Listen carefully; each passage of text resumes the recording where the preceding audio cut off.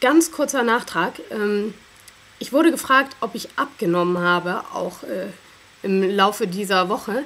Und ganz offensichtlich ist es so, denn ich habe eine Jeans aus dem Schrank gezaubert, die habe ich das letzte Mal zubekommen nach einem Marathon. Das geht jetzt gerade hier irgendwie problemlos. Die ist so nicht mal eng. Also übermäßig eng.